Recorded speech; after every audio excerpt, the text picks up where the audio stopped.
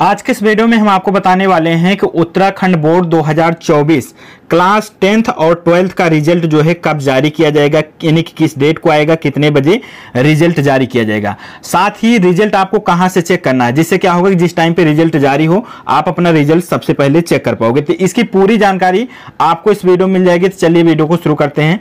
इसके लिए क्या करना है कि अपने मोबाइल फ़ोन में गूगल खोलना है।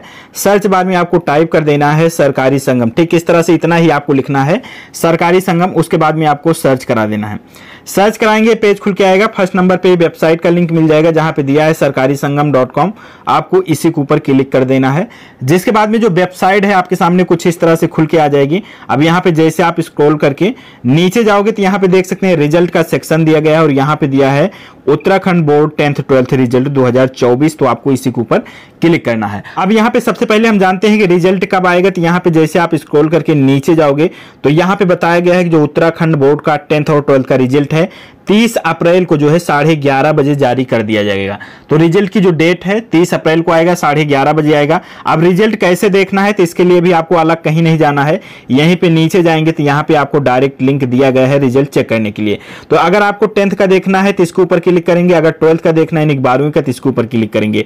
जैसे आप इसके ऊपर क्लिक करते हैं तो नेक्स्ट पेज जो है, आपके सामने कुछ इस तरह से खुल के आ जाएगा। अभी फ़िलहाल यहाँ पे दो हज़ार तेईस वाला ही लिंक एक्टिव है, लेकिन जिस दिन रिज़ल्ट जारी होगा, रिज़ल्ट आने से एक घंटे पहले यहाँ पे जो है 2024 का लिंक आपको देखने के लिए मिल जाएगा। अब रिज़ल्ट चेक करने का जो प्रोसेस है, यहाँ पे थोड़ा समझ लीजिए। अगर आपको टेंथ का रिज़ल्ट देखना है, यानी कि दसवीं का तो यहाँ पे रोल नंबर डालिए। इस कैप्चा कोड को आपको क्या करना है, नीचे बॉक्स दिया है।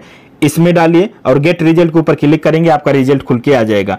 और उसके बाद में अगर आपको ट्वेल्थ का देखना है तो यहाँ पे रोल नंबर डालिए। इस कैप्चा कोड को यहाँ पे डालिए। उसके बाद नीचे जो है, आपको गेट रिज़ल्ट का ऑप्शन मिल जाएगा। जैसे आप इसके ऊपर क्लिक करेंगे, आपका रिज़ल्ट खुल के आ जाएगा।